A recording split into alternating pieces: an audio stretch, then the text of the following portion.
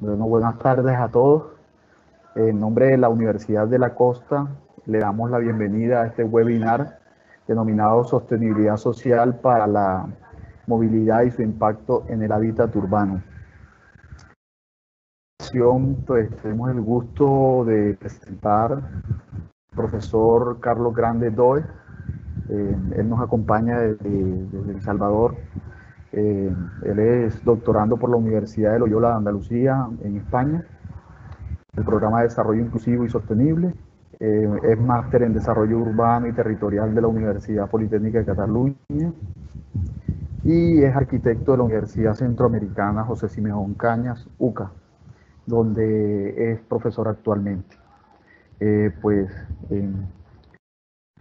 el profesor Imparte clases, como ya dijimos, en la Universidad UCA y actualmente es coordinador del Diplomado de Movilidad Urbana Sostenible eh, para El Salvador y de la Red Iberoamericana de Transporte y Movilidad Sostenible, eh, RIMUS. Eh, este, este, diplomado es apoyado por RIMUS y CITEP. bueno, damos paso al profesor que nos acompaña el día de hoy.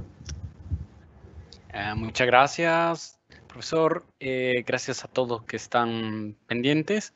Eh, es un gusto para mí también participar. Eh, voy a inmediatamente a, pasar a las diapositivas y ahí ya vamos a irnos presentando de maneras de, mejor manera. Voy a compartir pantalla. Voy a apagar mi, cámara. Un saludo para todos nada más y, y luego voy a apagar para no consumir mucho ancho de banda.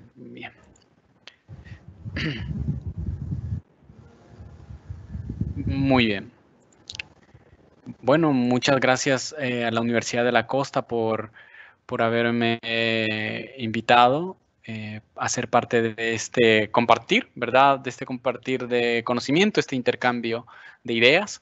mi nombre, como ya lo han dicho, es Carlos Grande voy a presentar algunas, algunos avances que tengo eh, sobre mi investigación doctoral acerca de cómo la sostenibilidad social puede ser un enfoque interesante para abordar el problema de la movilidad urbana y cómo esta de verdad puede impactar eh, realmente el hábitat urbano en que vivimos. Eh, esta propuesta nace de unas condiciones concretas de, desde la región que se llama Triángulo Norte, eh, que es básicamente, está ubicada en Centroamérica. es una región, eh, bueno, ya vamos a ir viendo más o menos a, qué región nos, referimos específicamente. Eh, quiero agradecer de manera especial también a, Emilio Reyes, que digamos que el profesor Emilio Reyes, que a través de su, de su vínculo hemos logrado tener esta presentación. Eh, como ya me ha presentado el, profesor, eh, soy un arquitecto, ¿verdad? Que se ha metido en temas de urbanismo y de transporte y que de a poco vamos entendiendo un poco más eh, la, complejidad que puede representar introducir o plantear reformas no solo al sistema urbano o a la ciudad en, general, sino también a la misma sociedad que será al final la que, a la que le impacten estos distintos cambios. ¿no? Aquí a la izquierda podrán ver algunos contenidos eh, y, bueno, eh, por ahí irá nuestro, nuestro trabajo. Vamos a hablar un poquito, una idea que, me, siempre me viene a la mente, un, esta esta historia de Sísifo, ¿verdad? En, en, la, mitología griega, el contexto centroamericano. Voy a hablar un poquito de, dónde, de, dónde voy a hablar, ¿verdad? De, contexto desde el que hablo. Vamos a hablar sobre las dimensiones de la sostenibilidad. En concreto, me detendré un poquito más sobre la dimensión social de la sostenibilidad, eh, una propuesta de análisis, la estrategia de la investigación que estoy siguiendo y cómo a partir de unos casos de estudios pretendo eh, de alguna forma eh, demostrar que cuando los países en vías de desarrollo como como El Salvador, como Ciudad de Guatemala, en concreto del Triángulo Norte, más bien, si pudieran adoptar este enfoque de de planificación, de análisis, eh, podemos eh, realmente introducir cambios importantes a nuestros países. Bueno, esta historia de Sísifo es bien interesante. La historia de Sísifo es un, es un hombre que al que le llegan unas piedras y él tiene que subir eh, la, una montaña y, lanzar esa piedra a un volcán para que él, pues para que la piedra no cause problemas, ¿no? Entonces, eh, es un poco lo que nos pasa a nosotros que, tenemos unas ciudades realmente congestionadas, un transporte público que a veces no funciona muy bien. Estamos ante esa idea de Sísifo. era un castigo realmente lo que le habían puesto a Sísifo. Los dioses lo habían castigado y lo habían puesto a estar subiendo y teniendo un trabajo eterno, ¿verdad? Las piedras siempre llegaban y él tenía que subir pues yo esta historia no la conocí desde los libros, desde, la Iliada. Yo realmente la conocí desde una caricatura, de una caricatura que no sé si ustedes la habrán visto, si se habrá proyectado en Colombia, pero era un, anime que se llamaba Ulises 21. Y eh, en Ulises 21 eh, había una cosa bien interesante. La Sísifo no subía a, una, bueno, subía a la roca, ¿verdad? Y por una como una serie de rampas y él siempre hacía mucho esfuerzo en meter esa roca a un túnel que luego era como una especie de, espiral, ¿verdad? Eh, y esa especie de espiral caía en una, en una máquina que volvía a armar la piedra y esa misma piedra pues la, volvía a mandar a Sísifo, ¿verdad? Eh, hasta el mismo lugar. Entonces Sísifo vivía un ciclo sin fin, tirando la piedra al, al fondo del, agujero, pero realmente lo que estaba pasando es que la piedra se volvía a armar y le volvía a salir y, él pasaba la eternidad ahí en ese, en ese castigo, ¿verdad? Y eso parece ser que es lo que nos pasa a nosotros en, la movilidad urbana. Estamos como reproduciendo los mismos vicios, los mismos problemas y nunca le hallamos o nunca le atinamos a dónde está la clave para poder cambiar eh, estas condiciones. ¿Desde dónde hablo? Hablo desde, desde El Salvador, ¿verdad? Desde Guatemala, desde Honduras, eh, este, esto es lo que se conoce como el Triángulo Centroamérica, el Triángulo Norte de Centroamérica, una región bellísima, con unos paisajes bellísimos, playas hermosas, eh, pero también tiene sus, sus complejidades, ¿verdad? Eh, Centroamérica y el Triángulo Norte no, siempre fueron cinco países divididos.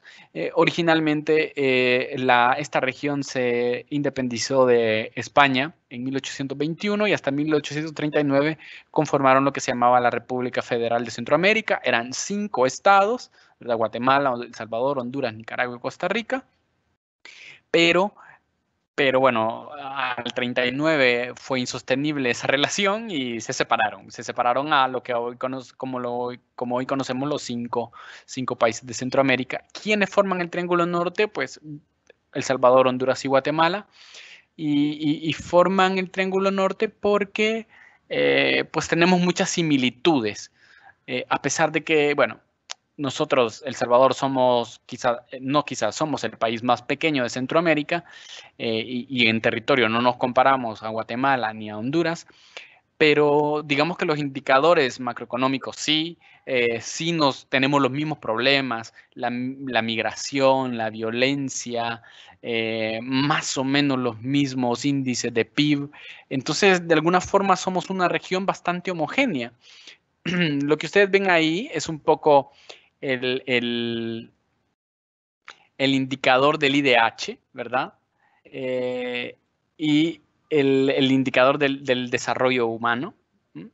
Y vemos como incluso la región de Centroamérica, ahí lo podemos ver, es una región bastante maltratada. ¿no? Miren, aquí están los valores, eh, menos de 0.05, pues las regiones africanas, ¿verdad? Eh, y, luego estamos como en un punto intermedio Centroamérica, bueno, ya vemos Estados Unidos. Eh, en cuanto también al, nivel de, el coeficiente de Gini, ¿no? que mide la, igualdad, la equidad en los países, ahí pues todavía estamos un poco más, eh, pues más castigados, ¿verdad? miren, eh, Guatemala y Honduras son, bastante desiguales, más del 50, ¿verdad? Cuando deberíamos de tener muy cercanos a, por ejemplo, Canadá, miren, 30-35, ¿no? Una región mm, bastante equitativa. Eh, pero Guatemala y El Salvador y Honduras son unos países bastante inequitativos. Eh, y, otra cosa que, siempre, como vamos a hablar de sostenibilidad, eh, que es bien importante reconocer la cantidad de consumo energético que como región tenemos. Fíjense bien que como región nosotros estamos eh, muy por debajo, ¿verdad? Eh, por ejemplo, de, zonas como Estados Unidos o incluso Rusia y China, mm, ya no hay comparación. Eh, el punto que me gusta hacer a mí cuando veamos estos mapas, de hecho, en el último informe de la CEPAL del 2018 para Centroamérica, nosotros consumíamos cerca del, o más bien, producíamos cerca del punto con, del punto 8% de los gases de efecto invernadero. Es decir, el, aporte eh, que hace la región centroamericana como región, es decir, los, cinco países, los seis países, incluyendo a Panamá, es bastante bajo, ¿verdad? El, impacto que nosotros generamos en cuanto a la producción de gases de efecto invernadero. Entonces, eh, por ahí voy a dejar esto ahí como diciendo, estamos hablando de sostenibilidad de una región que consume poco, que es bien desigual, que tiene un índice de desarrollo humano bastante bajo. Eh, vamos a ir bajando la escala. Eh, esto que ustedes ven aquí es un desarrollo urbano aquí en, El Salvador, es un centro comercial eh, que se conoce como multiplaza. Los que estudian arquitectura reconocerán la mano de un arquitecto, es un trabajo de Legorreta. Eh, es un, espacio bastante interesante, eh, pero lo que me interesa que, vean es que tenemos un gran centro comercial eh, con una torre de apartamentos de 20, casi, bueno, no, como, como 30 niveles, ¿no?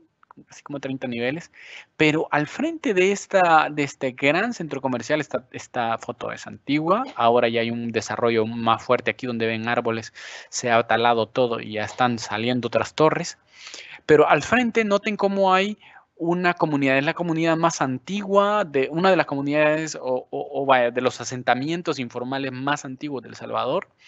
Y así es nuestra ciudad, eh, convive la informalidad, convive eh, la, la, dos caras de la moneda, ¿no? La, producción, el, gran estatus, el comercio, las multinacionales, con las zonas más pobres y más, desprivilegiadas. Fíjense que tanto es eh, la inequidad que aquí el centro comercial tiene dos estaciones de autobuses y la zona de la, comunidad no tiene ninguna. Eh, aquí vemos una, toma aérea de esa, aquí está la torre, aquí está el centro comercial esta es una gran autopista, es una autopista C4, es la carretera panamericana, ¿verdad? Eh, y miren cómo el, tamaño de, esta zona, eh, de esta comunidad, ¿verdad? Esta comunidad es muy, muy, muy grande. Viven que unas 5.000 personas ahí. Eh, y así es como se desarrolla la desigualdad. Otra de las cosas que compartimos, eh, esa es una, imagen de, El Salvador, por ejemplo, pero podría poner también una imagen de Guatemala y de, Honduras que, en la cual se da la misma situación. Otra de las cosas que nos unen en el Triángulo Norte es el tema de la violencia. Eh, ustedes reconocerán algunas noticias, el tema de las, de las pandillas es un tema muy famoso, eh, muy complicado. El tema de, las caravanas de migrantes, eh, como estamos tan cerca de Estados Unidos, de, hecho, inclusive cuando ya había empezado la pandemia, cuando ya había incluso medidas de restricción, salió una caravana rumbo a Estados Unidos. A media, eh, los pobres han sufrido mucho porque han quedado varados ahí en frente de la frontera de México en fin, e, esa otra situación que se da en, El Salvador y en Guatemala y en Honduras, ¿no? El tema de las pandillas que de alguna manera impulsan también el flujo de migración directo, flujo de migración directo hacia Estados Unidos. Por ejemplo, los datos de pobreza, eh, miren, miren por qué también somos, nos llamamos Triángulo Norte. Aquí abajo ustedes podrán ver eh, lo que representa en términos de pobreza en hogares eh, las tres regiones, ¿verdad? Eh, de Guatemala, Honduras y El Salvador. Eh, luego eh, está, perdón, luego está un elemento muy, muy, muy interesante y es el tema de la pandemia. Si ustedes se dan, se, lo logran ver, estamos muy, muy, muy en, condiciones muy similares eh, en cuanto a la, a, la, afectación, los tres países, claro, no tenemos comparación ni siquiera con, Panamá, y bueno, Nicaragua todos sabemos algún problema que tiene con, con su gobierno y la aceptación de la pandemia, pero, pero bueno, ahí están los datos eh, muy similares los tres países también en la forma en que estamos mm, como afrontando este problema universal. Y entonces en este contexto desde el cual hablo hoy, eh, ¿es posible hablar de sostenibilidad de la movilidad urbana en estas condiciones? Eh, ¿Es posible? y si es posible, ¿qué tipo de sostenibilidad estamos hablando? Porque porque entrarle de lleno a satisfacer algunas condiciones medioambientales cuando ni siquiera eh, hay, existen los mínimos de desarrollo y de equidad en las mismas ciudades en las que vivimos, eh, existen entornos de igualdad fortísimos, pues entonces eh, es una cuestionante fuerte y es una cuestionante que, que, tengo yo como, como, como profesor, como, como residente de estos países, ¿cómo podemos afrontar este, este problema?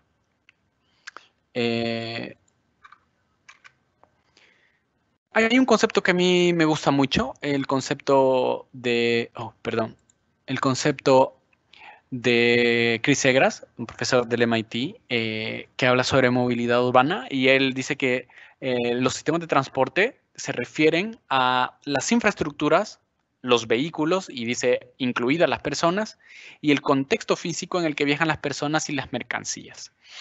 Eh, la movilidad entonces en sí se refiere a un movimiento físico que va a través del espacio utilizando un sistema. Eh, Segras dirá que eh, podemos considerar la movilidad y sistema de transporte como sinónimos eh, y que estos sistemas pueden llamarse sistemas de movilidad. A los sistemas de transporte los podemos llamar como sistemas de movilidad también. Bien, este es el concepto que él propone para entender qué es la movilidad urbana, pero a mí me llama la atención que no habla explícitamente Chris Egras de el problema de las sociedades en las que se implantan estos sistemas de movilidad. Y, ahí quisiera traer a contraste eh, algunas ideas de Juan de Dios Ortúzar en un artículo muy, muy, muy interesante que habla sobre si es posible conseguir de verdad la movilidad urbana sostenible. Él habla no solo de tres dimensiones, sino habla de cinco dimensiones de la, de la sostenibilidad, que son las ya sabidas, ¿no? Tres ya son las consabidas, que es la, la dimensión económica, la dimensión social, la dimensión ambiental, pero él incluye otras dos. Él incluye la dimensión institucional y luego incluirá también la cultural, que son dos dimensiones que normalmente quedan afuera de estos sistemas de movilidad. Pues bien, ¿por qué traigo a colación esto? Porque esto nos ayuda a entender de una manera mucho más robusta eh, la complejidad que tiene sobre sí eh, los sistemas de movilidad y por qué también es tan difícil echar a andar cambios sustanciales cuando tenemos unas dinámicas eh, que obviamente están restringiendo y deprimiendo el desarrollo humano, el desarrollo del hábitat. Ahora quizás el tema ha quedado un poco en, letargo porque la mayoría de nosotros estamos confinados en nuestras casas, pero cuando la pandemia pase y cuando poco a poco se vaya retomando la nueva normalidad, hay que decir, porque creo que la situación ya no va a ser como antes, vamos a tener que eh, vernos eh, otra vez en lo mismo, en, los atascos, en, el congestionamiento.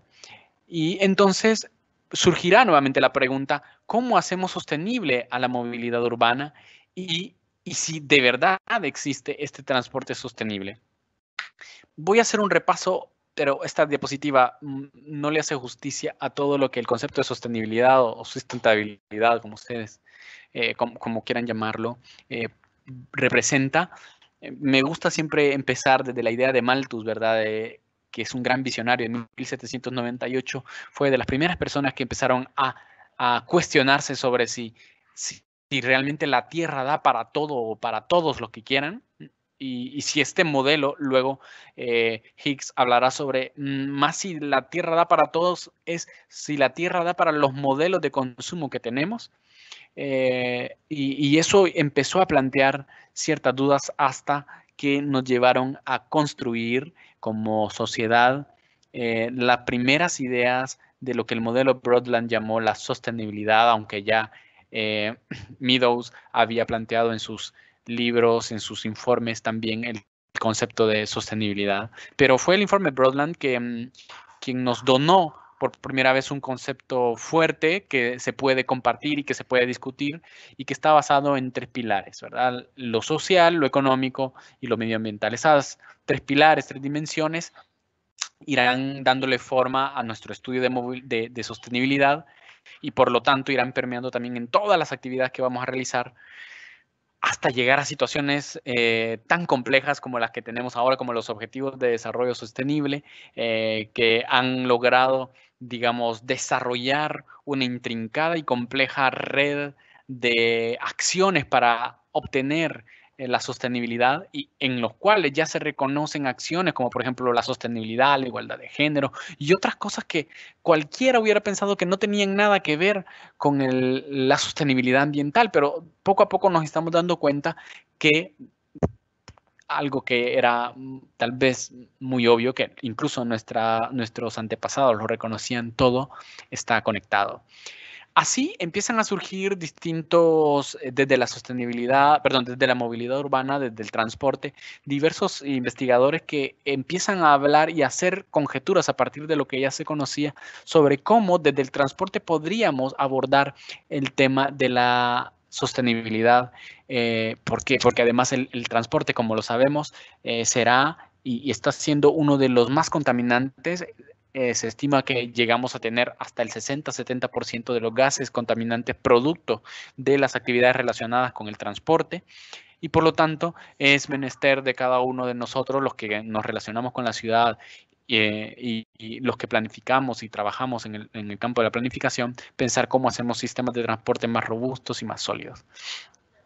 Entonces, eh, fíjense bien, siempre me ha llamado la atención que desde 1989 que se formula por primera vez el, o de manera más sólida el concepto de sostenibilidad eh, ambiental eh, o de sostenibilidad o de desarrollo sostenible más bien, es solo hasta en el 2001 que el transporte sostenible tiene un concepto consensuado y se le llama transporte sostenible, es una declaración del del World Business Council eh, eh, for Sustainable Development en el 2001, le llama al transporte sostenible la capacidad de satisfacer las necesidades de la sociedad para moverse libremente, obtener acceso, comunicarse, comerciar y establecer relaciones sin sacrificar otros valores humanos o ecológicos esenciales hoy o en el futuro.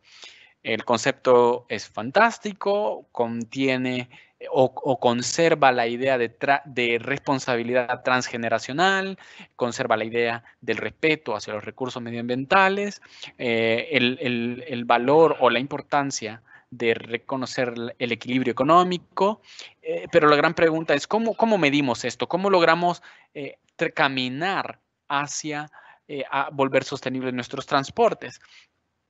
Y, y, luego empieza otra serie desde el 2001 hasta que 2010, 2011, eh, una serie de, reflexión académica eh, sobre cómo volver entonces a la mirada a los transportes y volverlos más sostenibles.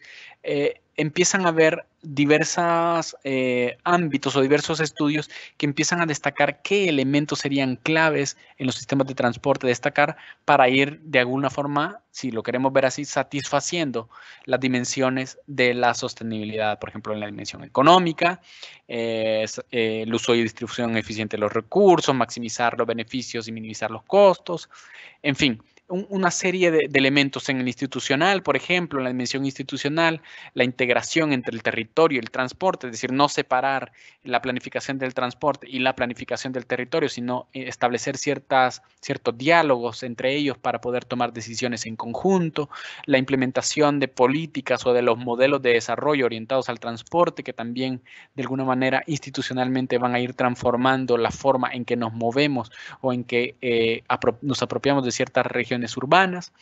Eh, también pensar ya no de manera reactiva, es decir, no, no ir eh, respondiendo a la demanda que habrá en el futuro de necesidad de vías, sino más bien eh, ser más proactivos y pensar en la gestión de los recursos que ya tenemos, de las vías que ya tenemos y no caer en, cosas como la que vemos en esta imagen, una serie de espaguetis que lo que están haciendo cada vez más es alimentando un monstruo que nunca se sacia, que lo que quiere es más espacio y que entre más espacio le demos, más consumirá. Y reconocer entonces que los elementos, eh, que la institucionalidad eh, y los proyectos de transporte son elementos simbióticos y que y que uno y otro deben de irse apalancando para ir mejorando y para irse transformando conjuntamente. Es decir, no podemos tener instituciones que permanezcan eh, quietas en, el tiempo, deben ellas también irse transformando para poder ir adaptándose a los tiempos y a las necesidades.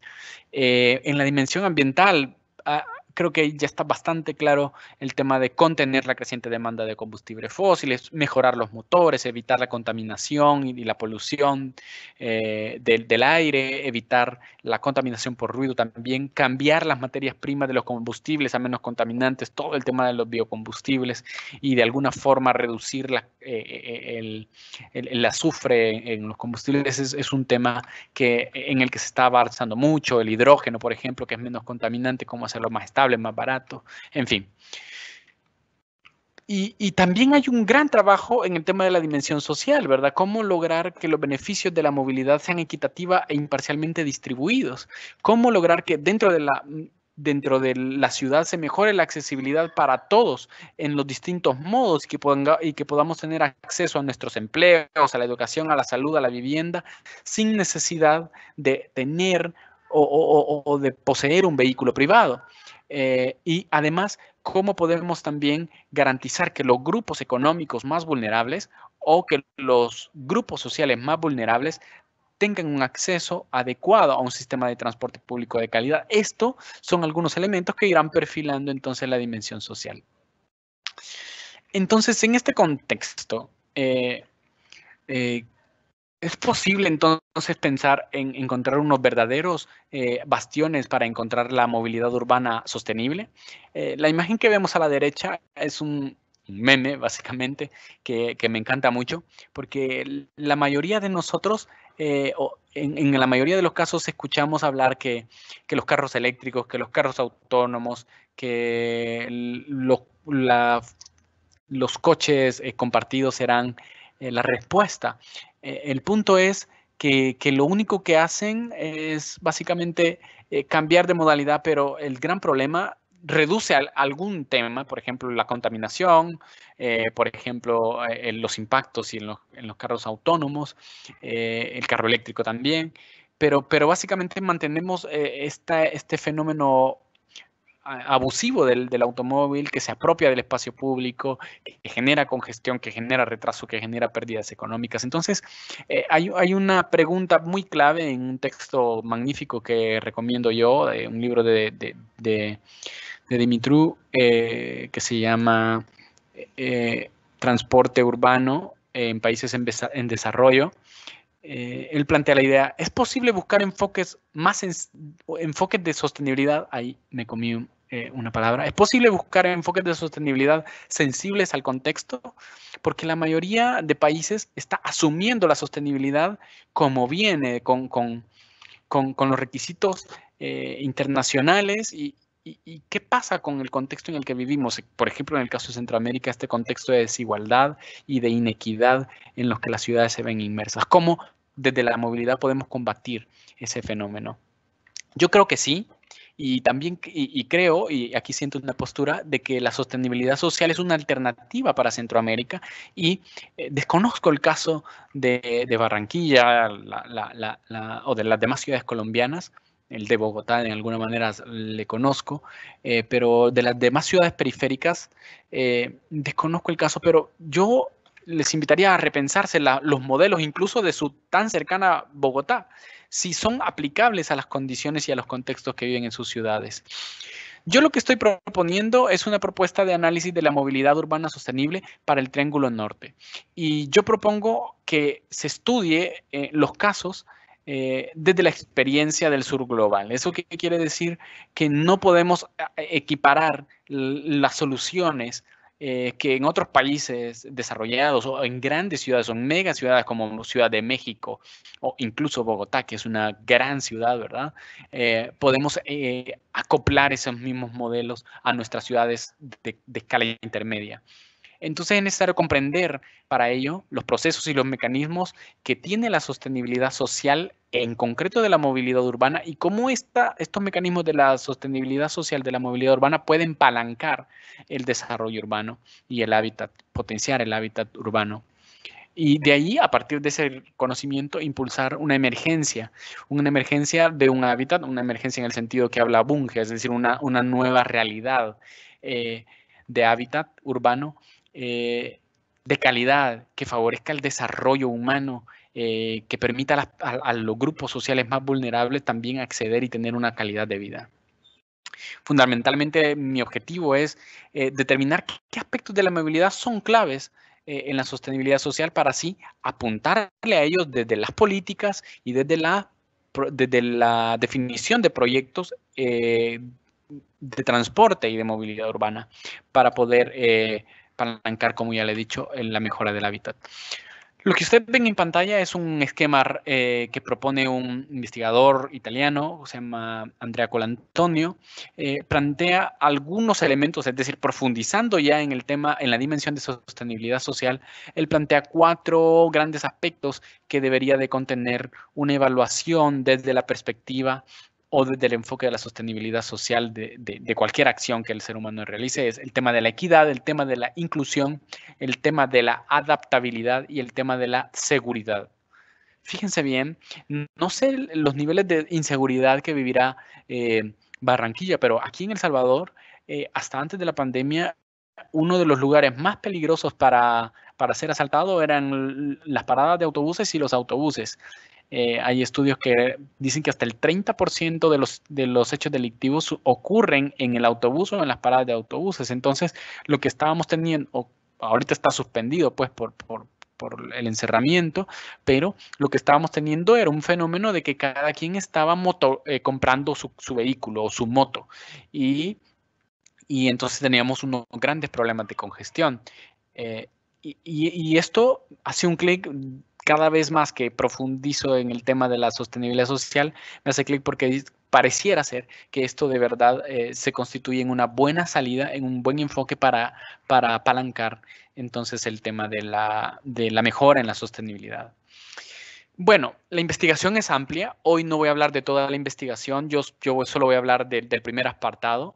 Eh, identificar y evaluar los elementos de sostenibilidad social de la movilidad urbana, en concreto el, aspecto de la accesibilidad, eh, pero también tiene otros dos componentes. la investigación pretende determinar, determinar los procesos sociales y las variables físico-espaciales claves de la movilidad urbana sostenible que impactan en el hábitat urbano desde el enfoque de su producción social.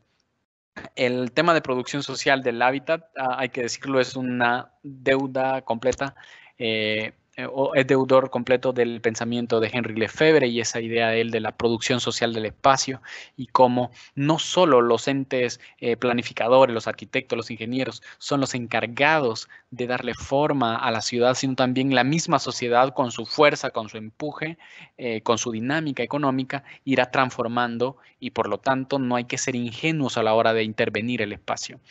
Hay que también, uno del tercer punto de la investigación pretende identificar los argumentos causales y explicativos de la transformación de las condiciones del hábitat a partir del análisis económico institucional de la movilidad urbana. Son otros componentes, lo repito, no lo voy a hablar ahora, voy a dedicarme al primero, eh, a, los exploratorios del primero que ya tengo y que me gustaría compartir con ustedes.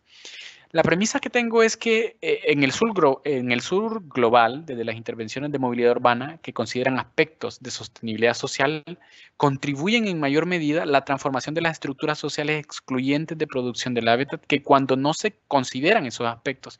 ¿Por qué digo eso? Por esto. Fíjense que eh, Transmetro es la solución que Guatemala encontró a su sistema de movilidad y C-Trans es la propuesta eh, que El Salvador eh, definió para su sistema de movilidad. ambos son sistemas fundamentados en el, en el BRT o en el sistema de buses de tránsito rápido, pero no fueron exitosos. De hecho, podría incluir, incluso estoy discutiendo todavía con, mi director de tesis, eh, incluir a, Honduras, que también se basó en el sistema BRT. Lo interesante es que de las tres, de los tres casos que incluyeron BRT, Guatemala, El Salvador y Honduras, solo Guatemala eh, tuvo éxito. Y el problema o la situación es aquí hay una percepción mía, eh, una intuición, eh, una hipótesis, es que creo que eh, Guatemala introdujo elementos sin saber, o, digamos, no sin saberlo, sin necesidad de recurrir a ese enfoque desde la sostenibilidad social, pero ellos ocuparon bastantes elementos de sostenibilidad social y eso ha apalancado el éxito de su, de su sistema de transporte. Ahora, Ciudad de Guatemala tiene una, una red impresionante de BRT, está incluyendo ya o va a agregar un tranvía y unos funiculares, mientras que El Salvador no pasó de una sola línea, que solo tiene 6 kilómetros, eh, no ha incluido nuevos eh, modos de transporte. Fíjense la comparación. Esta es una comparación eh, de, esta, del BRT Data ORG, este del 2019, este, este dato. El Salvador tiene 27 mil eh, pasajeros por día, pero miren, Ciudad de Guatemala tiene 210 mil eh, pasajeros por día. Eh, miren la, longitud de kilómetros. el, Salvador solo tiene 6 kilómetros, Guatemala 24, yo creo que ahora ya va, ya va por 35 kilómetros. es un sistema bastante robusto y que cada vez más está teniendo mucho más éxito. Entonces yo creo, y si ustedes conocen el caso de Guatemala, eh, pues se darán cuenta que, Guatemala eh, ha tenido mucho éxito en la implementación de su sistema de transporte y mi, hipótesis es que está fundamentada en que varios de los elementos que utilizaron eh, coinciden con el enfoque de sostenibilidad social. Bueno, y, ¿Qué tan bonancioso es ocupar el sistema o, el tema de la sostenibilidad social? Bueno, los temas más frecuentes cuando hablamos de movilidad sostenible coinciden cuando hablamos también eh, del enfoque de sostenibilidad social. ¿Y cuáles son esos temas? Bueno, el tema de la congestión. Eh, ¿Cómo puede un transporte público brindar las mismas prestaciones que un transporte privado? Pues eh, hay una inercia en la planificación, eso no lo podemos negar. Es como darle respuesta, dar respuesta a la a la situación de, congestionamiento. Esta es una foto de aquí de San Salvador. No sé si, si pasará también en Barranquilla, me imagino que sí. Calles sumamente congestionadas, pero es porque nuestra planificación de transporte y urbana simplemente está ampliando y ampliando y ampliando calles sin dar unas nuevas alternativas. Eh, por supuesto, el vehículo, la moto y el carro el vehículo privado es más barato y seguro para muchos, eh, desde los costes de los usuarios, pero eh, cuando se analiza desde el coste marginal, por supuesto que esto implica un gran costo para el Estado, ¿verdad? Eh, en condiciones de alta inseguridad, la, ciudadanía eh, busca en el auto una cápsula de escape. Jane Jacobs lo refleja muy bien en su famoso libro Muerte y Vida de las Ciudades. Dice que cuando hay demasiada violencia, la gente opta también. No opta por el vehículo como una forma de guarecerse, de cuidarse. Eh, entonces, esto es un fenómeno que se vive también acá en El Salvador. Eh, la solución entonces está vinculada no solo en la multimodalidad, sino también en la intermodalidad, en coordinar esos modelos. Otra de las cosas que es importante cuando hablamos de sostenibilidad social es la red. La red es importantísima. Hay un, hay un, hay un profesor eh, muy, muy, muy, que tiene unas ideas muy interesantes, Gabriel Dupuy, eh, habla sobre que las vías son las venas de la ciudad. Eh, más allá de eso, habla sobre cómo las vías representan esa, ese, o sí, más las vías representan esta pertenencia a la ciudad o no. Y Gercé luego nos dirá eh, que la red de transporte público es un conjunto de múltiples elementos, como ya lo ha dicho, como lo hemos leído de Segras, eh, pero que la clave no está en pensar en jerarquía, sino más bien pensar en conexiones y red y a partir de esa lógica establecer una serie de flujos de recorrido de esa, de esa red que puedan estar conectados a, través de distintos modos. Eh, las redes urbanas, entonces, dirá eh, Alain Berthaud en un libro también fabuloso que, que, se los recomiendo, que se llama Order Without Design, orden sin diseño, eh, dirá que las lógicas eh, técnicas y de eficacia de la planificación de la ciudad parten justamente de entender y de planificar adecuadamente las redes urbanas.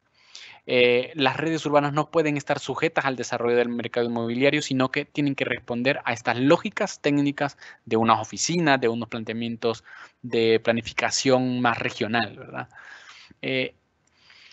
entonces, si pensamos en, estos, en estas dos cosas, la congestión y la red, nos vamos a dar cuenta que estas dos cosas no dependen de elementos puramente técnicos. Aquí hay un componente social muy fuerte.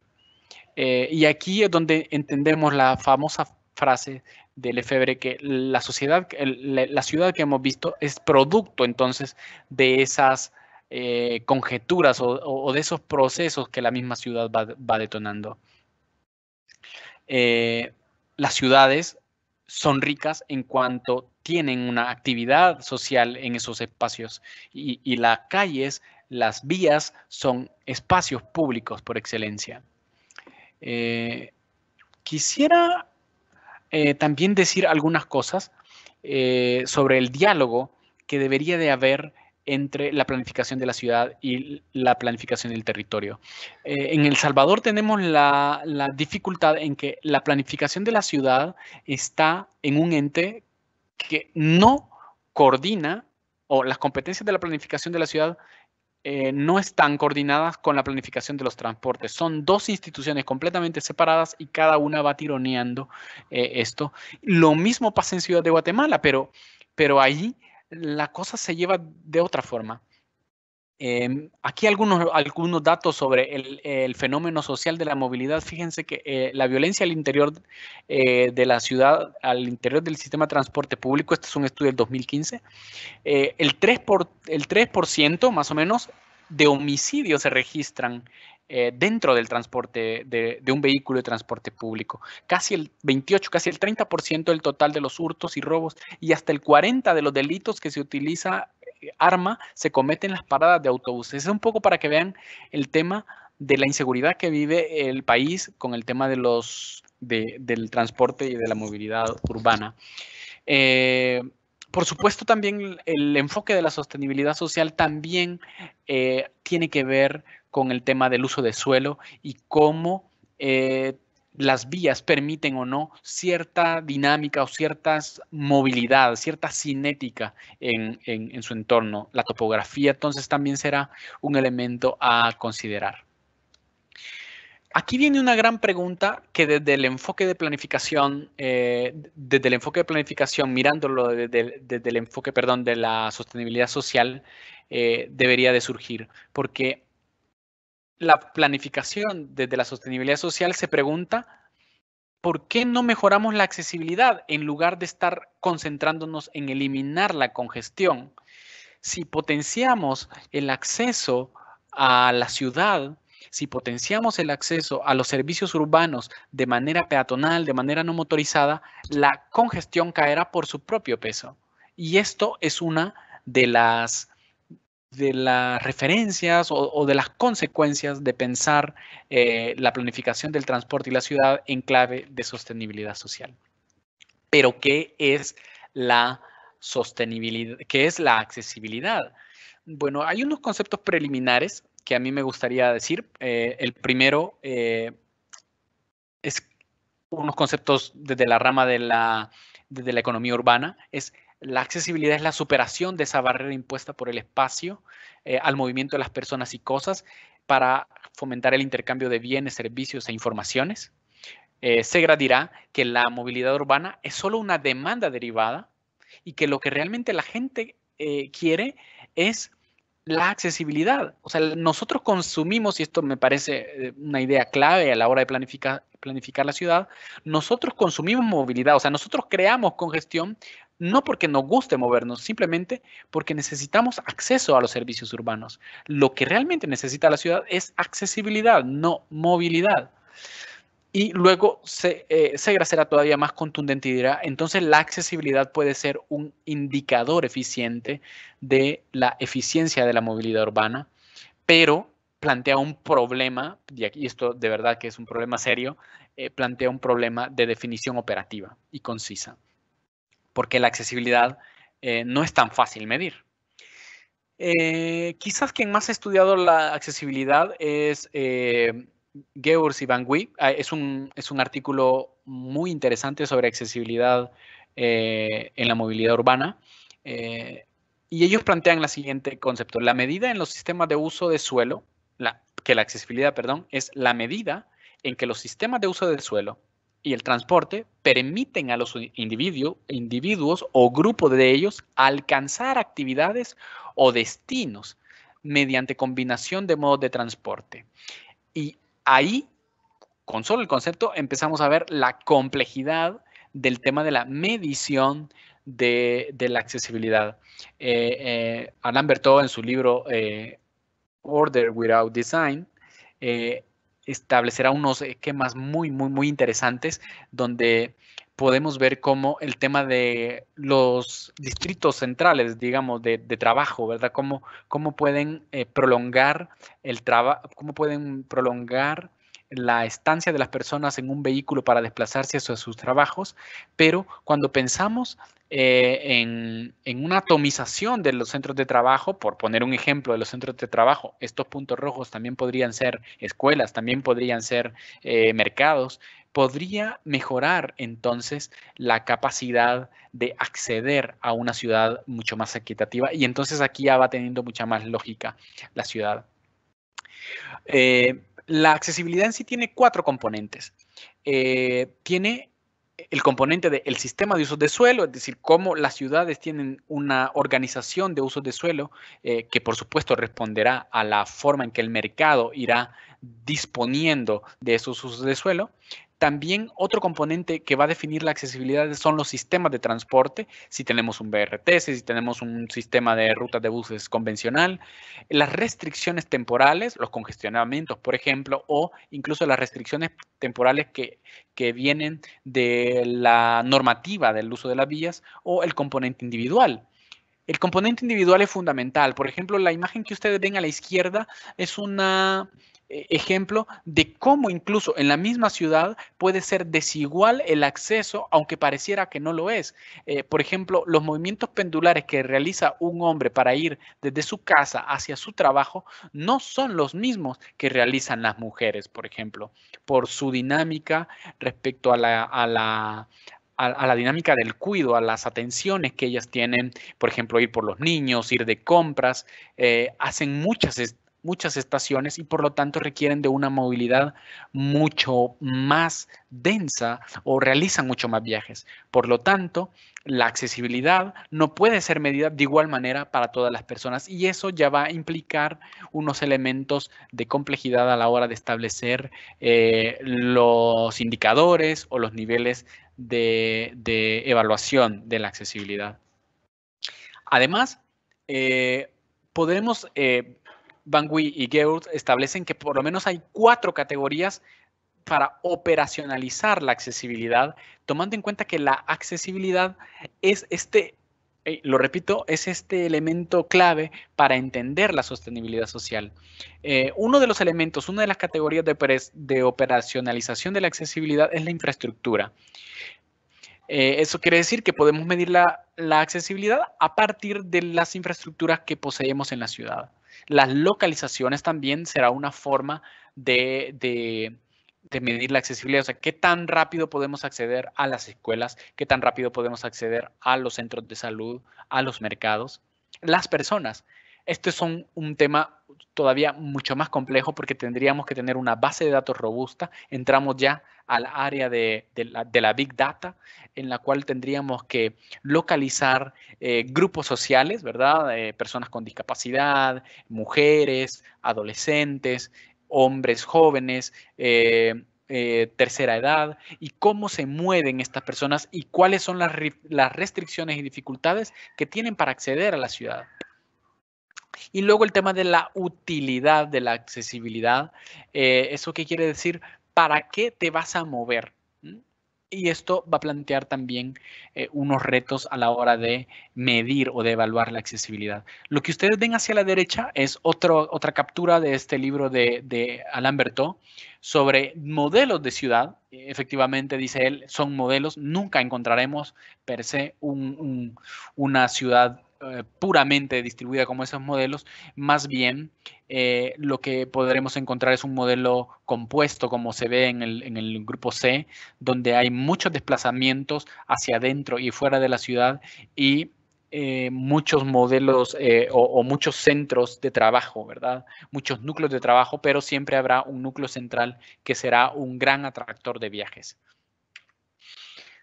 la situación de LAMS, porque lo que quiero al final es contarles también cómo esto se ha ido operativizando eh, en el área metropolitana y los pasos que se han ido dando para ir dándole forma a la accesibilidad. Esta es la plaza central, quizás es el nodo más importante de, San, Salvador, es la que se conoce como la Plaza Salvador del mundo. Como ustedes pueden ver, eh, es una rotonda, pero está completamente detenida porque así es, eh, ustedes a esta hora, en un día normal, eh, no pueden pasar por ahí porque está totalmente detenida y los carros se van moviendo a cuenta gotas. Entonces, ¿cómo llegamos a esto? ¿Cómo permitimos que, el carro eh, se apropiara de esto? Y, uno se pregunta, ¿no hay otra forma de moverse en nuestra ciudad? estos son estampas de la movilidad en nuestra ciudad aceras que se interrumpen, eh, incluso eh, hay publicidad que impide que el transeúnte se mantenga en la acera, vehículos eh, sobresaturados del transporte público, peligrosísimos, o por ejemplo las rutas del sistema BRT usadas, por ejemplo, para la bicicleta, porque la bicicleta no tiene una ruta o una ciclorruta adecuada en, en San Salvador. Eh, hay que decirlo que ya el sistema BRT ya no funciona como debe de ser porque eh, ahora hubo un recurso que, impide al BRT utilizar eh, el carril exclusivo y ahora sobre el carril exclusivo, que antes era exclusivo el BRT, ahora puede circular cualquier vehículo, congestionamiento. Esto es lo que se vive a diario en San Salvador. lo que ustedes ven a la derecha es eh, los números de motorización. Tengo hasta el 2017, porque hay que decirlo también, los datos en El Salvador son sumamente cerrados, es difícil conseguir datos, pero bueno, logré conseguir hasta el 2017. Miren cómo eh, tenemos una tendencia a la alta. Eh, en el 2011 empieza a funcionar el sistema BRT en El Salvador, pero lo que podemos ver es que eh, el sistema BRT no logró desacelerar la tasa de motorización, por el contrario, eh, la tasa sigue la alza y, está acelerándose cada vez más. Ahora eh, ya tenemos cerca de 1.200.000 vehículos. antes de la pandemia había una, había una estadística que decía que por lo menos 8.000 vehículos mensualmente eh, se ingresaban al parque vehicular del Salvador. Es decir, la tasa de motorización crece de manera exponencial en nuestro país. También nuestro país tiene problemas porque tiene eh, hay una escasez de, de, modos de transporte. Básicamente aquí lo que predomina es el vehículo privado, el BRT que como ya les explico no está funcionando del todo, son 6 kilómetros nada más eh, y además está siendo invadido por, por vehículos privado, el autobús convencional y el peatón y la bicicleta, pero el peatón y la bicicleta no tienen una red apropiada. El, peatón tiene unas aceras, en algunos casos muy buenas, pero en otras, como ya vieron, algunas fotos muy deterioradas, y la bicicleta es, efectivamente no tiene en ningún punto eh, eh, importante. Eh, si hay unas ciclorrutas, pero son más de recreación. en, algún punto tendremos también que mejorar esa, esa, red, pero por el momento la bicicleta y el peatón no están siendo, teniendo un lugar privilegiado en la pirámide de movilidad. Lo que yo les voy a mostrar ahora es eh, una evaluación exploratoria de accesibilidad en el distrito 2 y 3 de San Salvador. Lo que logramos hacer es en sistemas de información geográfica, eh, a través de un enfoque cuantitativo eh, y partiendo de la teoría de los grafos, utilizamos el software, el software ArcGIS, la herramienta de Network Analysis, y modelamos dos redes. Modelamos la red de transporte para el transporte público y modelamos la red vial para el transporte privado. Lo que ustedes ven en colorcitos es justamente la red de transporte público. Como pueden ver, además, es una red bastante limitada. Eh, ah, por supuesto que hay, otras, hay otros autobuses que circularán en algunas de las otras vías, pero estas rutas que ustedes ven en, color, eh, en colores son las rutas que atraviesan de, de norte a sur y de este a oeste eh, el área metropolitana, es decir, que brindan una conexión bastante importante para los, para los que usamos el área metropolitana, vivimos en el área metropolitana. Hicimos un análisis de isocronas, un, área de servicio para poder establecer los tiempos de recorrido desde la, desde la red vial y eh, bueno, si hablamos de las cualidades del modelo, es una red básica, sin restricción de giros, eh, es un, hay doble sentido en casi todas, no es tan cercana a la realidad porque es exploratoria, pero, pero nos ha dado muchas luces sobre el problema de, la accesibilidad en El Salvador y además se modelaron los usos de suelo como para poder entender eh, las restricciones que tenemos para acceder. Bueno, ¿cómo está la accesibilidad en San Salvador? Lo que ustedes ven a su izquierda es un mapa de cómo el transporte privado en una situación de de congestionamiento, es decir, eh, una velocidad a 5 kilómetros por hora puede acceder, por poner un ejemplo, a un equipamiento recreativo. Fíjense bien cómo puede tardar una, en, una distancia de casi que 5 kilómetros hasta una hora, hasta una hora en una distancia de 5 kilómetros, de 4 kilómetros, pueden tardar en acceder a espacios recreativos en una hora con congestionamiento, alguien en vehículo. Fíjense la situación que le sucede a alguien que viaja en transporte público.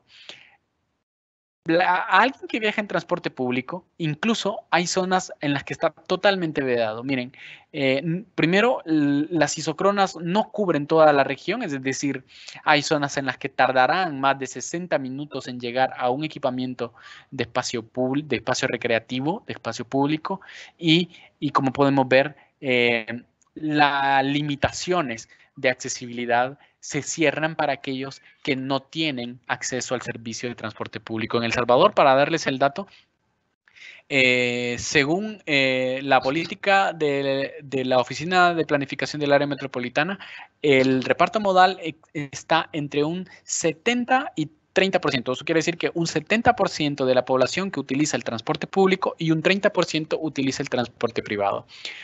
Yo creo que eso es demasiado, bueno, eh, eh, es, demasiado suave.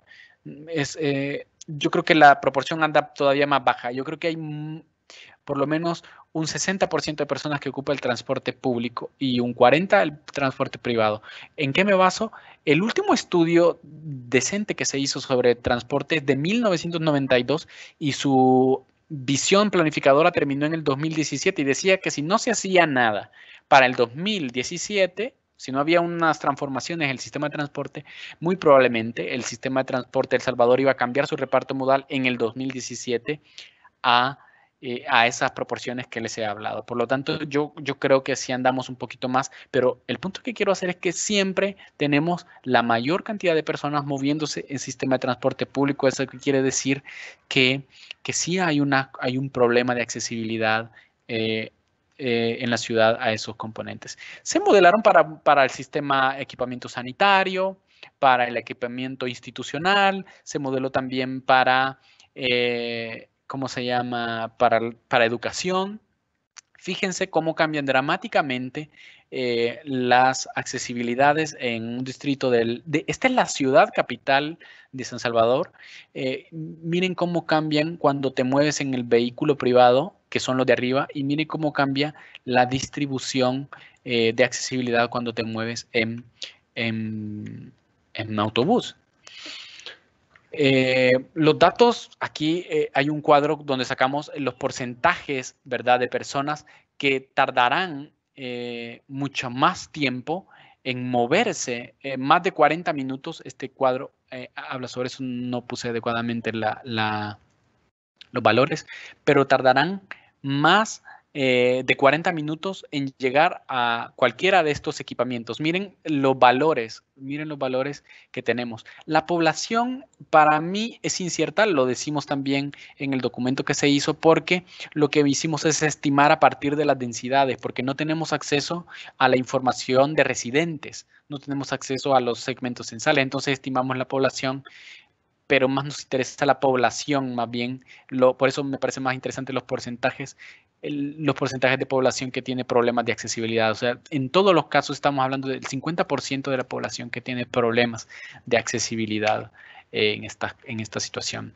Las conclusiones preliminares, solo, imagínense, solo hablando de, la accesibilidad, eh, lo que podríamos decir es que eh, el sistema de transporte público eh, aumenta el tiempo de viaje en un promedio de hasta casi media hora o sea, que quien viaja en transporte público, por lo menos, eh, viajará media hora más hacia cualquiera de los equipamientos dentro de ese sector, del sector 1 y 2 de la ciudad capital, que si lo hace en un vehículo privado. Es bien interesante porque existe mayor accesibilidad en transporte público para las zonas residenciales con densidades altas. Y eso está bien. Pero identificamos que el tema de las densidades medias y las densidades bajas no tienen buen servicio de transporte. Por lo tanto, eh, vamos a continuar con la tendencia de motorización. Cuando hablo de densidades medias, estoy hablando de la clase media y de la clase de, renta alta que no tiene accesibilidad al sistema de transporte público, por lo tanto, son los que tienen capacidad de comprar un vehículo y por lo tanto estamos reforzando el tema de motorización. Eh, más allá también, por supuesto, del tema de la violencia en el sistema de transporte. La red brinda buena conectividad. Normalmente aquí en El Salvador siempre la gente dice, no, es que está mal conectado. La red es buena, tiene buena conectividad, lo que tiene mala es la accesibilidad. ¿Sí? La mala accesibilidad no depende en sí del sistema vial, esto hay que tenerlo claro, sino de la disposición de o de la distribución de los usos de suelo y de la densidad de la red. Y cuando digo densidad de la red, ustedes verán que las vías están bien puestas. Lo que no está bien puesto son la distribución de las rutas. Entonces la cantidad, distribución y localización de los equipamientos urbanos en el territorio tiene que mejorar. Y esta es una tarea fundamental que en El Salvador la realizan los municipios, pero los municipios están en total divorcio con la la planificación del transporte. La velocidad de circulación promedio a diferentes horas del día es un factor que impacta concretamente la, accesibilidad y mientras no se haga algo por palancar o por disminuir eh, este problema de la accesibilidad, entonces seguiremos eh, empujando a la motorización. Eh, la red en el transporte público tiene que mejorar, tiene que volverse más densa. Es otra de las cosas que, proponemos, que hemos presentado a la alcaldía municipal este, este trabajo. Eh, la red del transporte público tiene que caminar hasta volverse más, más densa, más rutas en el modelo. Nosotros creemos que el modelo eh, tendríamos que ver cómo las rutas pequeñas eh, van a influir en mejorar la accesibilidad pero el problema es, y aquí se vuelve, es donde va tomando complejidad la medición de la accesibilidad, es que no hay un sistema de transbordo, por, por, lo tanto, eh, cada bus implica un pago y se vuelve mucho más costosa la accesibilidad en los sistemas. No existen rutas alimentadoras como tal al sistema de transporte masivo y por lo tanto el sistema de transporte masivo queda como una competencia más de las demás rutas y eso eh, genera muchos problemas.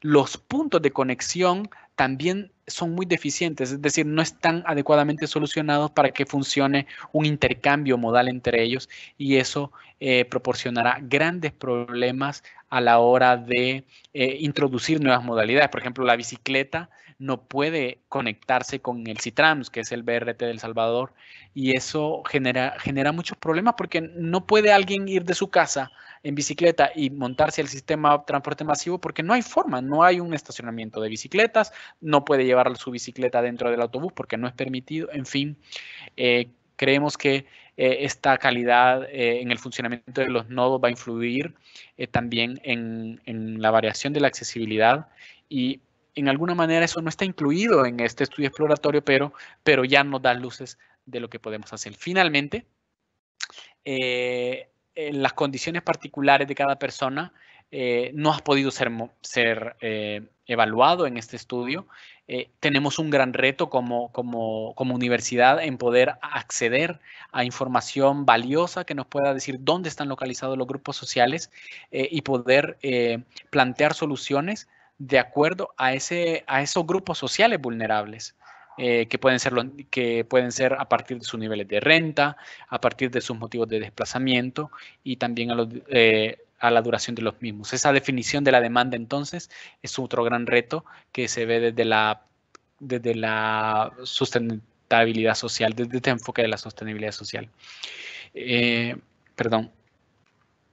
Eh, al final, afinar los aspectos antes mencionados eh, en este modelo de red vial que, les he presentado ayudará a mejorar entonces la metodología de medición, pero por el momento podemos confirmar que el transporte público es ineficiente porque la distribución de sus rutas es mala y no tanto porque la red vial sea mala. y esto, como les he explicado, va a reforzar y continuará, continuará reforzando el tema de la de la, de la motorización. Yo quisiera quedarme aquí, eh, sin antes regresar a la, a, la, historia con la que empecé, con la idea de Sísifo.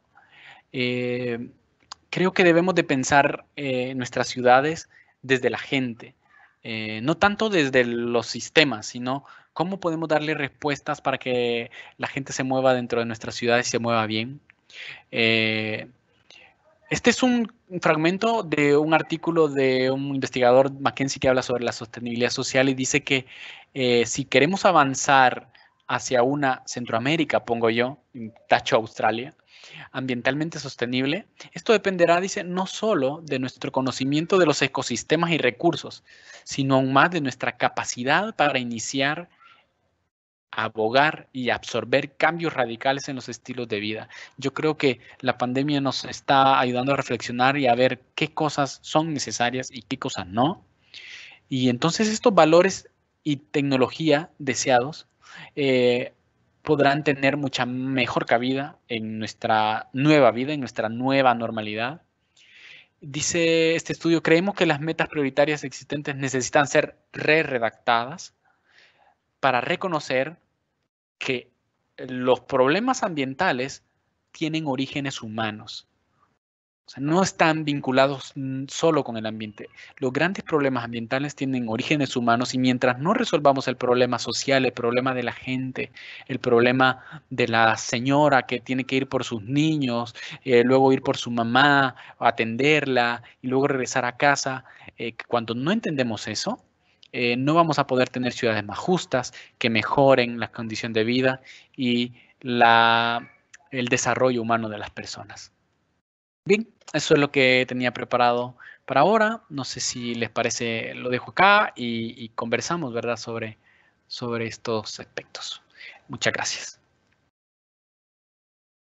Muchas gracias, Carlos. Eh, realmente muy, muy interesante, te digo. Eh, he tomado muchos apuntes eh, respecto a lo que has conversado y, realmente quisiera, bueno, tocarte varios temas. Eh, Yo trabajé con el sistema BRT de Barranquilla, el Transmetro, que también se llama como el de Guatemala. Eh, de hecho, nosotros, eh, eh, nuestro referente precisamente era Curitiba y principalmente Guatemala, que nos parecemos mucho más al país, al país centroamericano. Tú decías, tú dabas unos datos aquí muy interesantes. Por ejemplo, que el BTR en San Salvador tiene 6 kilómetros, mientras que en Guatemala tiene 25 kilómetros. Te relato un poco, un poco el, qué fue lo que pasó aquí en Barranquilla. Aquí en Barranquilla el, tema del BRT eh, eh, es relativamente insuficiente, aunque todavía moviliza bastantes personas, cubre solamente el 11% de la demanda de pasajeros de Barranquilla. Y eh, pues este, este gran inconveniente surge por una circunstancia que está asociada a lo que tú estudias, que es el enfoque social, ¿sí? la manera en que, en que las, los antecedentes sociales nos dan a nosotros una lectura de, de, la respuesta que debe tener en los sistemas de transporte. Y lo que sucedió aquí en Barranquilla específicamente, y, de lo cual muchos especialistas quedaron muy inconformes, es que el especialista eh, era una persona que no conocía la ciudad.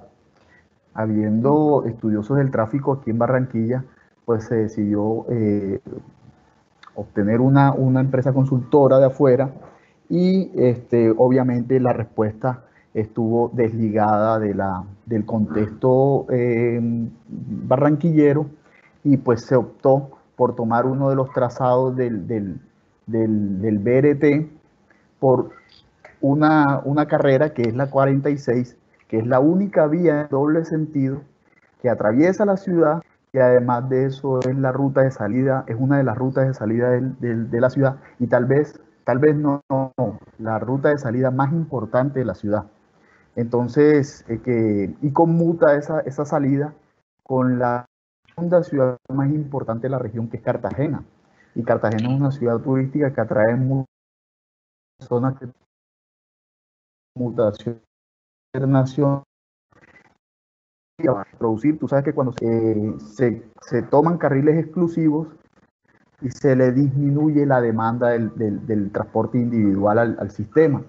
Entonces eso hizo de que, esa demanda de transporte que antes estaba por esa arteria principal se desviara a otras vías y generara una serie de congestiones vehiculares. Entonces el la cura generó ciertos malestares que no se han podido subsanar porque en últimas no se ha hecho el, famoso par vial que se debía hacer para subsanar eso. Entonces, eh, el sistema de Barranquilla pues estuvo desde un principio condenado a tener una disfuncionalidad. Y es por eso precisamente lo que tú expones, que es los aspectos sociales. Cómo, o sea, cómo observar esos tópicos sociales, esos tópicos intrínsecos del lugar, eh, te lleva a ti a dar una respuesta una respuesta eh, más certera del, del, actualmente el sistema de 13.3 kilómetros en troncales y alimentadoras, que son las que surten los barrios, tiene 34 kilómetros.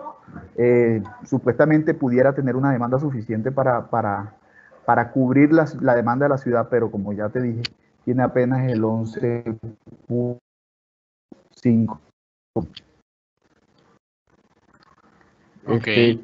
Este, em, hay, hay, otro aspecto que, hay otro aspecto que, que yo quisiera eh, que nos hablara o que nos profundizara acerca de él. Es el, el, lo que tú hablabas acerca del uso del suelo, el uso del suelo y la accesibilidad, ¿sí? Que existen unos, unos puntos focales que atraen esas conmutaciones dentro de la ciudad y que, y que hace parte también eh, eh, de, estas, de estas teorías de densificación de la productividad, o sea, que, eh, las, actividades comerciales se juntan y se establecen unas congestiones en horas pico y una, y una eh, sobreoferta en, en, horas valle, ¿sí? Porque entonces quisiera que nos, de pronto nos profundizara acerca de eso, cómo los aspectos sociales pueden llegar a a, generar un efecto. Ok, Eh, Raúl, eh, yo estoy acá. Lo que pasa es que corté la cámara porque creo que estaba llamando mucha ancho de banda y, casi no te escuché la pregunta. No sé si me podrías ayudar, repetirla, perdón. Sí, eh, no, la pregunta va dirigida a cómo los aspectos sociales, o sea, la lectura de los elementos sociales puede, pueden hacer de que, de que esta accesibilidad eh, eh, caótica que se produce hacia estos lugares que demandan mayores conmutaciones pueden llegar a generar, o sea, cómo, cómo esta, esta visión social que tú planteas puede llegar a generar una, una ruptura a esas, a esas demandas eh, que tienen estos sectores de la ciudad. Muy bien. ok, Iván. Fíjate que la primera cosa que, habría que decir, y, hablabas tú sobre el tema de uso de suelo, eh, es que como, como, como arquitectos, vamos a decir, a veces pensamos que nos las podemos todas. Eh, y el enfoque social eh, busca primero brindar una ciudad más equitativa. y para generar una ciudad equitativa, tú debes de conocer la dinámica de la ciudad.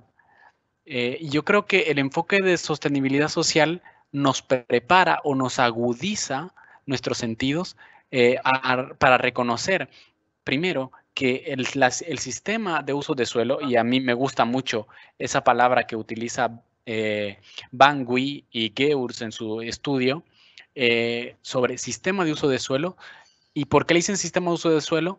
Le dicen sistema de uso de suelo porque no es simplemente eh, la cantidad de usos que existen en la ciudad, sino dicen ellos, es también su localización, ¿verdad? Cómo están localizados los, los clústeres o, los segmentos de, de, uso de suelo que están en ciertos territorios y cómo este sistema de uso de suelo interactúa con el transporte, comprender esa dinámica ayudará a dar mejor respuesta a la densificación de la ciudad.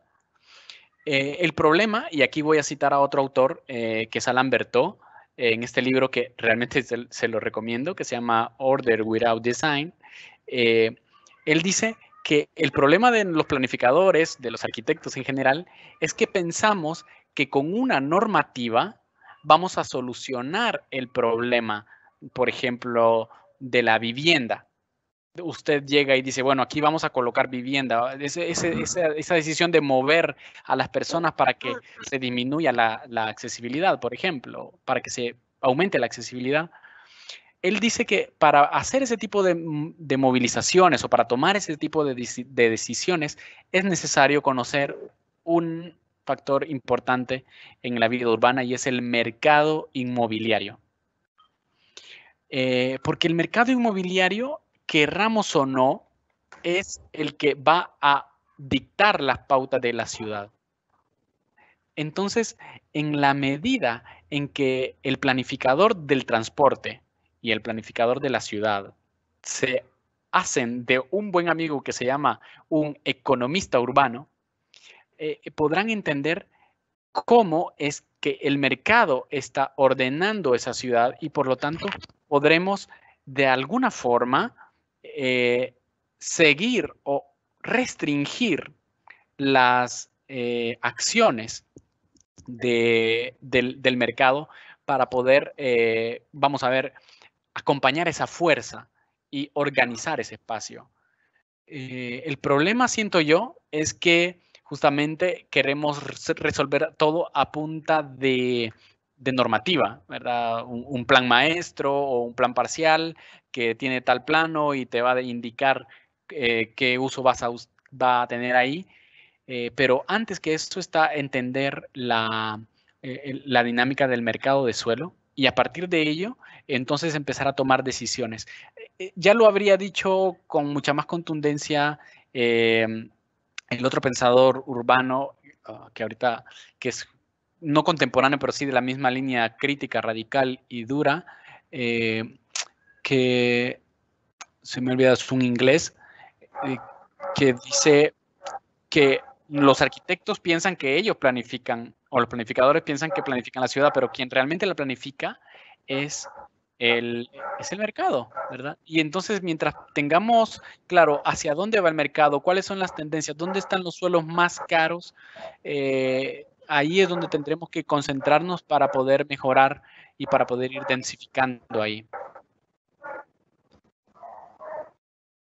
Sí, eh, y esto nos lleva a otra pregunta eh, respecto a, algo que tú planteabas inicialmente. Tú hablabas de, unos, eh, unas estadísticas, un, índice de desarrollo humano, unos indicadores de Gini muy, muy similares a los que tiene Colombia. De hecho, Colombia es un país con poca justicia social, en que la distribución del ingreso es muy asimétrica. Entonces, eh, la pregunta va dirigida a esto. Eh, ¿La justicia social o esas inequidades pueden afectar el transporte? Mm, sí, mira, sí lo pueden afectar, pero más que afectarlo, es al revés la relación. Está comprobado que valiéndote del transporte tienes una herramienta, pero más que eficaz para luchar contra la pobreza. Hay eh, un investigador francés, eh, entre ellos está Gabriel Dupuy, que habla sobre el tema de la importancia de la accesibilidad a la red, eh, la importancia social, el peso social de la accesibilidad a la red. y también está alguien, es un también francés, ahorita, perdón que he olvidado el nombre, pero lo tengo aquí a la mano. se llama Javier Godard. Javier Godard es otro francés que ha investigado mucho el tema de cómo eh, los sistemas de transporte pueden ayudar a establecer una mayor condición de equidad al interior de la ciudad. ¿Por qué? Porque si, tú te fijas, actualmente la pobreza eh, se está midiendo de manera multidimensional. Es decir, eh, o ya antes se medía la, pobreza por cuánto ingreso tenías tú cuánto, cuánta, cuánto ingreso, cuánto ganabas por, tu jornada laboral. Pero ahora, con el enfoque de la pobreza multidimensional, logramos entender que hay unas necesidades básicas insatisfechas y que esas necesidades básicas insatisfechas tienen que relación con los equipamientos urbanos.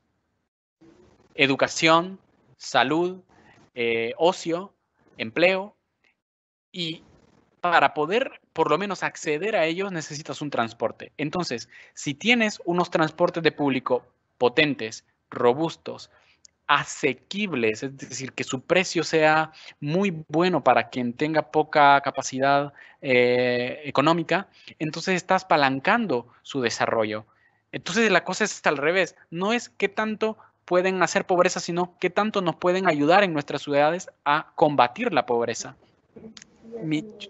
Yo creo que mi, mi, mi enfoque un poquito, eh, un poco de abajo, vamos al revés porque ah, recuerda, recuerda que, que, lo que yo estudio es desarrollo eh, inclusivo, ¿verdad? Entonces tuve que cambiar un poco de, de, de historia, de, venir desde, el, desde la parte urbana y pensar qué haces de la parte urbana, sino al revés, qué haces eh, para combatir con la pobreza, desde los elementos urbanos. Y yo creo que el transporte público es una herramienta, y Javier Godard lo dice, eh, es una estrategia fantástica para que debería de estar incluida en todos los programas de erradicación de la pobreza, la mejora, la accesibilidad de los sistemas de transporte.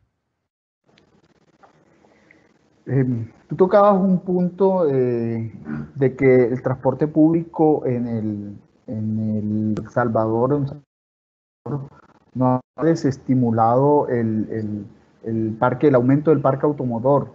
El un transporte público debe con la disminución del parque.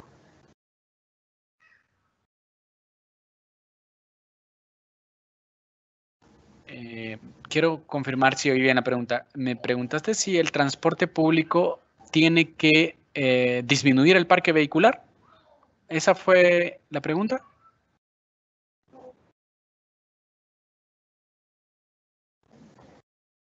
Un segundo. Tú, de que el transporte público en San Salvador no había contribuido a la disminución del parque automotor.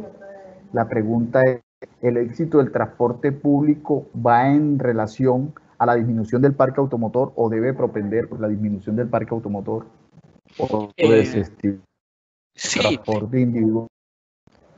Debería de, de, palear un poco esa necesidad, porque acuérdate que lo que eh, una del, de, los paradigmas de la movilidad urbana sostenible es justamente cambiar.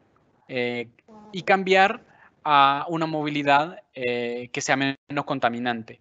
En ese aspecto, deberíamos, las ciudades deberían de estar moviéndose del vehículo privado a otros sistemas de transporte que son menos contaminantes.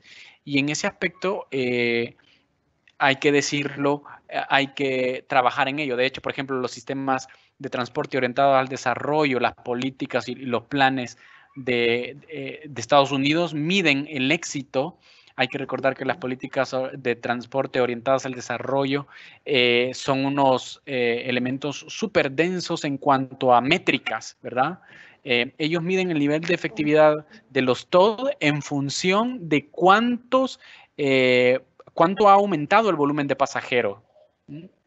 Eh, por supuesto que hay una discusión muy fuerte en si eso aplica también para las ciudades latinoamericanas. Yo creo que, si no en gran medida, pero sí debería de contribuir a disminuir el parque vehicular o a tomar esa decisión, ¿verdad?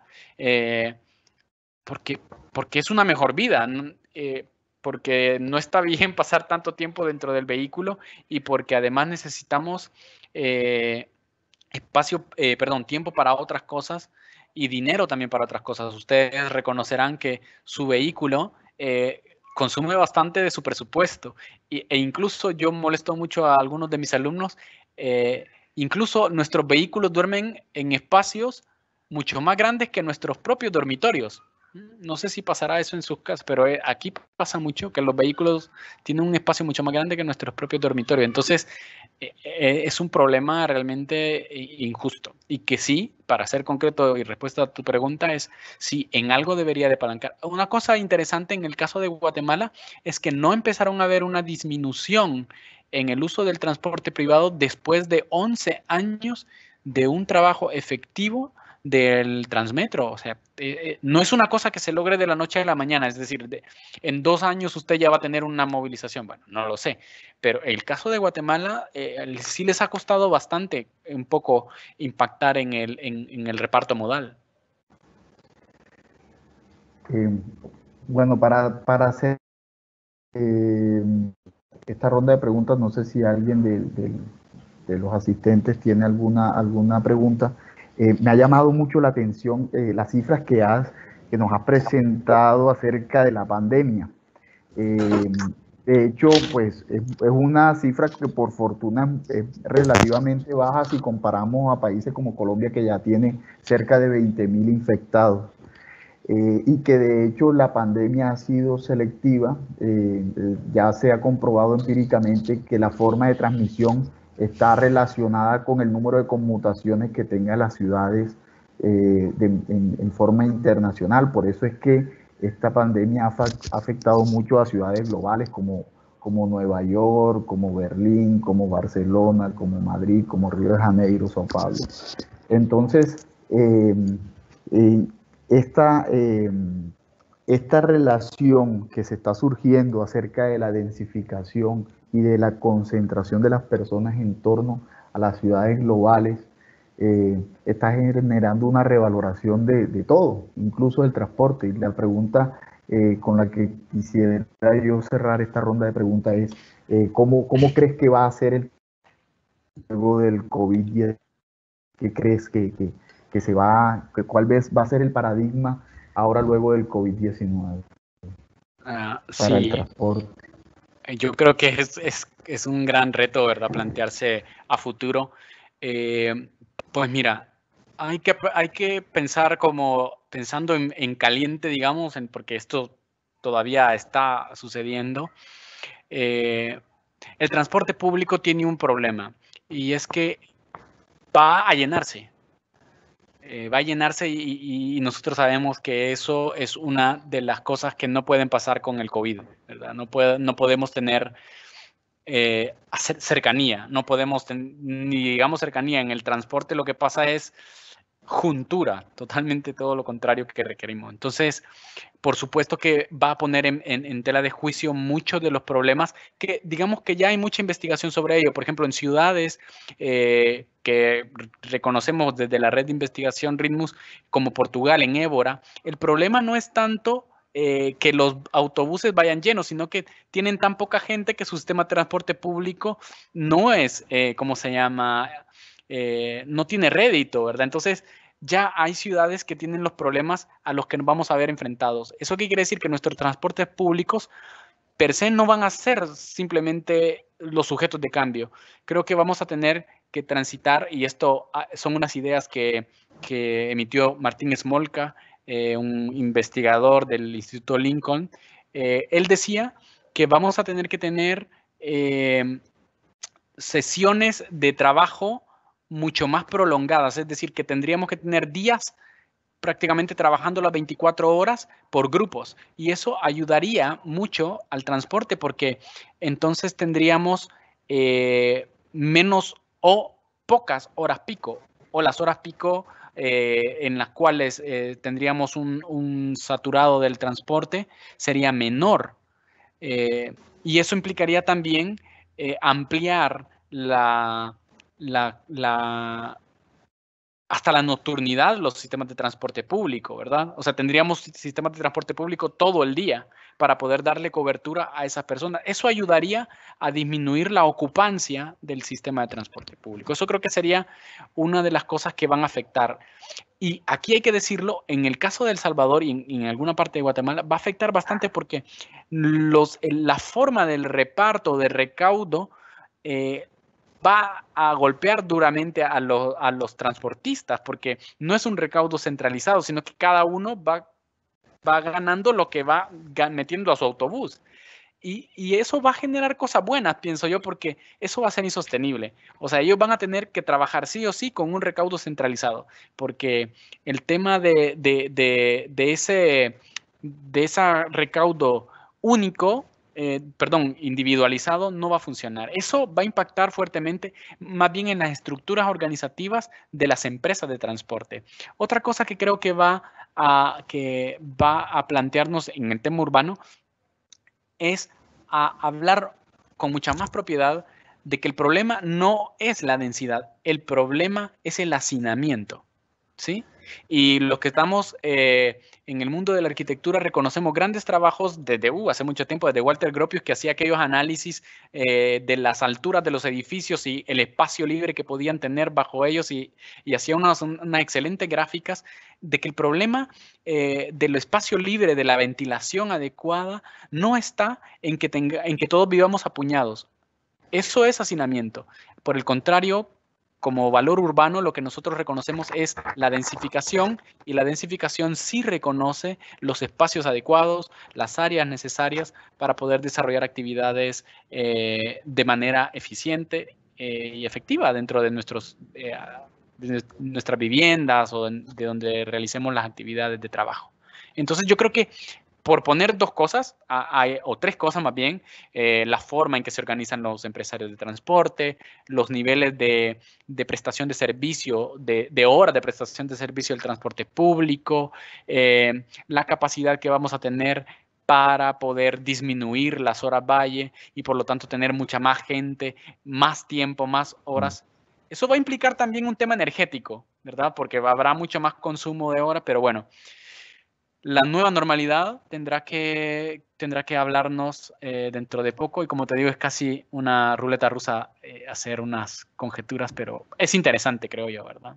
Es interesante plantearse nuevas, opciones. Hay, hay participación activa ¿ah? de, de, los, de, nuestros eh, asistentes. Te voy a ir leyendo alguna de las preguntas. ¿Por qué crees que el discurso cotidiano, hace una pregunta uno de los asistentes, ¿por qué crees que el discurso que en el discurso cotidiano frente a esta problemática se ha centrado sobre el concepto de la movilidad y no sobre la accesibilidad. Ah, eso, eso creo yo que es, es muy fácil de responder. Eh, es que lo que pasa es que lo, respondo con esta famosa frase del, de, Antoine Superri del, del Principito, ¿no? Lo esencial es difícil de verlo a los ojos. Eh, y es que la movilidad es un problema que está ahí, lo vemos, pero, pero es la causa. Es un efecto, perdón. Es un efecto, es un síntoma, la movilidad, el congestionamiento. Pero el, el, el problema, la enfermedad, es la falta de accesibilidad. O sea, usted va a un doctor y dice, mire doctor, eh, tengo gripe, me lloran los ojos, eh, me salen ahí unos moquitos, ¿qué tengo? Y, nosotros queremos que escuchar del, del, doctor un diagnóstico, ¿verdad? Eh, usted tiene gripe o tiene COVID o tiene eh, lo que sea, no es alergia.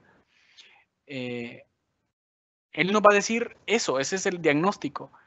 Y eso es difícil de verlo, solo hay que verlo, o sea, lo, esencial hay que, hay que estudiarlo más, hay que profundizarlo. La realidad, para transformar la realidad, es necesario profundizar en aquello que nosotros vemos como superficial. Ahí no está la, la respuesta. Mm, y, a través de, la historia siempre ha sido así, ¿no?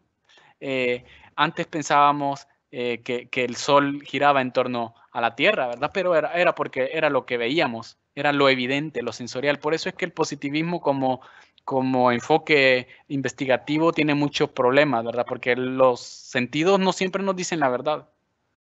Sí es.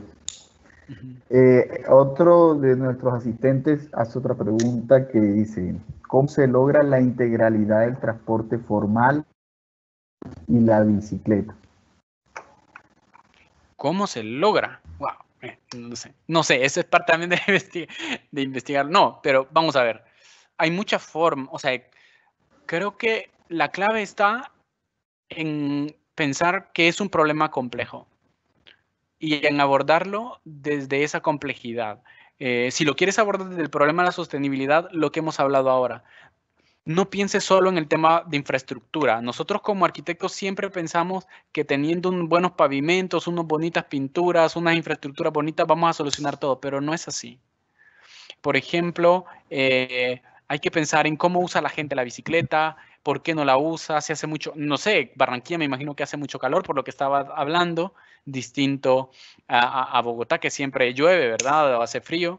Eh, eh, pero entonces conocer los distintos elementos que están configurando la realidad va a ayudar a mejorar la integración. Y, yo creo que la mejor forma de crear integración es eh, tomando decisiones complejas. si vas a hablar sobre sostenibilidad, yo digo, piensa en, las cinco eh, dimensiones que propone Ortúzar. Él, es eh, fantástico porque él nos dice, miren, no nos preocupemos solo por tres, preocupémonos por cinco. Por ejemplo, en El Salvador falló el tema de la tarjeta eh, electrónica, ¿sabes? Esta de pasar... ¿por, qué, ¿por, qué, falla? Porque la gente no la, no la pasa. porque hay una picardía que dice, como nadie me está viendo, no la paso. Entonces, claro, el transportista ya dejó de utilizarla porque dice que nadie me pagaba. Pero hay unas fotos interesantes de un transporte público en Brasil que le pagan a alguien solo para estar enfrente de la máquina que valida tu, pasaje. Eso es entender la cultura, eso es entender la dimensión cultural de la sostenibilidad. En algunos casos, algunas tecnologías deben de ser sustituidas por algunos elementos sociales porque simplemente no va a aplicar, ¿verdad? Bueno, eh, hay otra pregunta, dice, ¿cree usted que el transporte público debería responder a la demanda o debería proponer